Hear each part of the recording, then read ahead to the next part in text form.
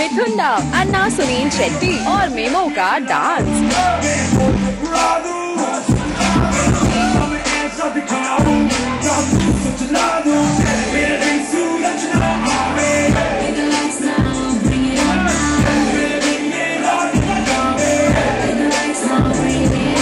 Injured foot के बावजूद अक्षय कुमार की स्टेज अपीयरेंस और साथ ही कई और grand entries of the entire star cast of film Enemy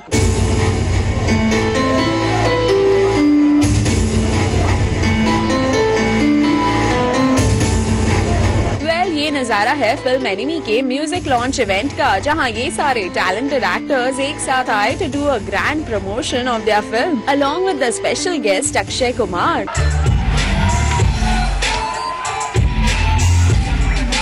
हाँ फादर सन डुओ मिथुन और मेमो ने ज़रूर इस म्यूज़िक लॉन्च को एंटरटेनिंग बनाने की पूरी कोशिश की। आपके बड़े भाई बोला लेते हैं स्टेज पर हाँ? बड़ा भाई भी है विवो है। मेरे दोस्त भाई। अरे, अरे। Vivo, ladies महाक्षय आप हमेशा कहते हो मैं 27 प्लस प्लस हूँ। आपका ये जो लाडला है मुन्ना है ये 28 साल का हो गया कि आपका 27 प्लस प्लस क्या है? प्रॉब्लम है देखो पता है प्रॉब्लम है क्या? जब जब मेरा जन्मदिन आता है लोग पूछते व्हाट इज़ योर एज मैं थक गया।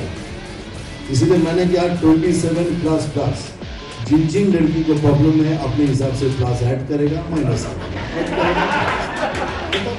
लेकिन इवेंट की लाइमलाइट तो एक्शन स्टार अक्षय कुमार ही लूट ले गए। एक तो बिकॉज़ अपने इंजर्ड फुट के बावजूद यहाँ आने के पीछे अक्की ने दिया ये इंटरेस्टिंग रीजन मैं डर के आया हूँ। क्योंकि मुझे लगी भी है, कोई बात नहीं, जब दादा बुलाएँगे तो आना ही पड़ेगा। मेरी कई फ़िल्मों में दादा हैं और कहीं डेटे ना दे, इसके डर से आना पड़ेगा। और दूसरा ये कि अपने करीबी दोस्त बिंदु दारा सिंह के आईपीएल स्पॉट फिक्सिंग कंट्रोवर्सी में फंसने पर कोई उनसे सवाल न पूछ ले। इस डर से अकी कुछ ही मिनटों में यहाँ से चलते बने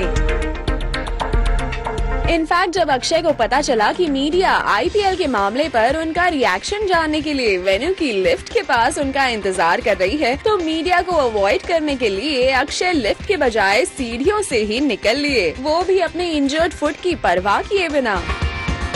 यानी कुल मिलाकर कई सारे स्टार्स की मौजूदगी के बावजूद अक्षय ने लूटी इस म्यूज़िक लॉन्च की सारी लाइमलाइट